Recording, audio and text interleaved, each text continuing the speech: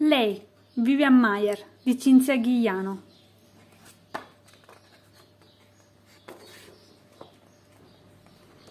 C'era una volta una tata, si chiamava Vivian, Vivian Mayer. Ai bambini voleva bene, ma io è il suo unico grande amore. Eccomi qua, io, la sua macchina fotografica. Vivian mi teneva sempre accanto al cuore.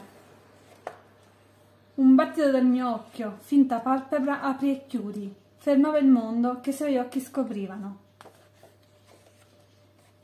Ho fotografato Vivian tante volte, nostri complici gli specchi, ci guardavamo immerse nel mondo intorno a noi.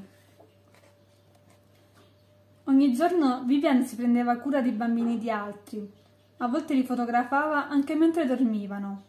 La mattina lo scolabus veniva a prenderli, li guardavamo salire e poi restavamo sole, io e lei.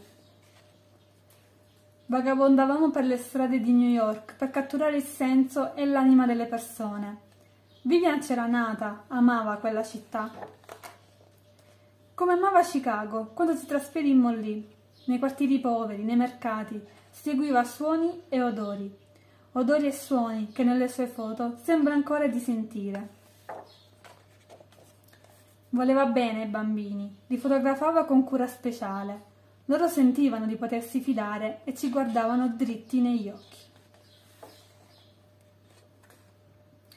Insieme abbiamo molto viaggiato su autobus, treni e navi, sempre fotografando il mondo. Dicono fosse di poche parole, lunatica, scostante, ma le persone per lei erano tutto, ogni persona una storia. Vivian scattava e il nostro diario prendeva corpo. Si popolava di luoghi diversi, di paesaggi strani, di gente che parlava altre lingue. Io sono la penna con cui quel diario è stato scritto. Io, l'occhio strano che ha testimoniato la straordinarietà del quotidiano. Ho visto di ogni scatto l'attimo prima e l'attimo dopo. Clac! La mia voce per condividere la sua scelta, il suo istante. Queste sono alcune delle immagini del mio occhio insolito, flash della mia memoria, anche se io non ho una memoria. Sono stata e resterò solo una macchina fotografica. La piccola Rolleiflex a pozzetto di Vivian Mayer, sicuramente la sua più fedele amica. Vivian ha sempre vissuto sotto lo stesso tetto dei bambini di cui era tata. Voleva però una stanza tutta per sé, con una speciale serratura che isolasse il suo regno dal resto della casa. Nessuno dettava regole a Vivian, tutti rispettavano le sue. Vivian era misteriosa, usava limone aceto per lavarsi i capelli, portava camicie da uomo, imprecava in francese, conosceva a memoria tutti i racconti di Johan Henry, camminava come un uccello. E così, come un trampoliere dalle lunghe gambe, ha attraversato il suo tempo fotografandolo. Chissà se continua a farlo anche senza di me.